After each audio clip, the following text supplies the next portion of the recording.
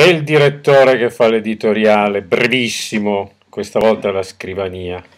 Basta con queste fake news, con l'utilizzo delle, delle notizie mezze false e mezze vere per farsi i fatti propri. Cicciolina che scrive su Facebook eh, le condoglianze al suo amico Thomas Milliam che è morto un anno e mezzo fa un altro che esulta all'arresto di un sindaco che è stato arrestato tre anni fa.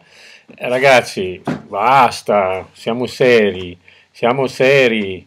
I, I, social possono essere molto utili, ma usati così fanno solo del male e della falsa informazione e dello stupido e inutile narcisismo.